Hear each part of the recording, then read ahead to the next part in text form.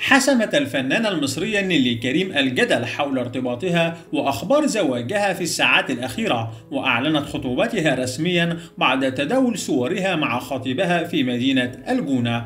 وأكدت الفنانة نيلي كريم أخبار خطوبتها اليوم بعد نشرها أول صورة مع خطيبها رجل الأعمال المصري عمر إسلام وكان ذلك بالأمس في مدينة الجونة. وأثارت الجدل برومانسيتها معه وهو الأمر الذي اعتبره الجمهور إعلانا بارتباطها. وقالت نيلي كريم لعدة مصادر ولجريدة اليوم السابع أن الصورة التي نشرتها أمس عبر حسابها على إنستغرام كانت بعد إعلان الخطوبة مباشرة على أن تحتفل بالزواج نهاية الصيف الجاري.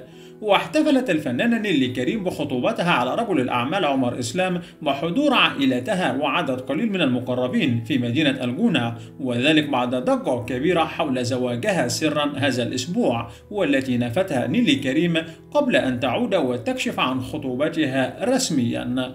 وذكرت عدة مصادر أن نيلي كريم تستعد للاحتفال بزواجها بعد انتهاء أزمة كورونا وترتب لها خلال الشهور المقبلة وتعتبر تلك الزيجة هي الثالثة لها في حياتها وذلك بعد تجربتها الأولى في الزواج في التسعينات وكانت وقتها في سن 17 عاما وأثمرت هذه الزيجة عن إنجابها ابنيها كريم 25 عاما ويوسف 20 عاما ثم تزوجت للمرة الثانية في عام 2004 من خبير التغذية هاني أبو النجا. ثم انفصلت نيلي كريم عن هاني أبو النجا في عام 2015 وأثمرت زيجتهما عن ابنتيهما سيليا 13 عام وكندا 8 أعوام واليوم وفي عام 2020 تعلن نيلي كريم عن استعدادها للزواج للمرة الثالثة وبعد انتهاء عرض مسلسلها الأخير بميتوش الذي قدمته في موسم شهر رمضان الماضي مع الفنان آسر ياسين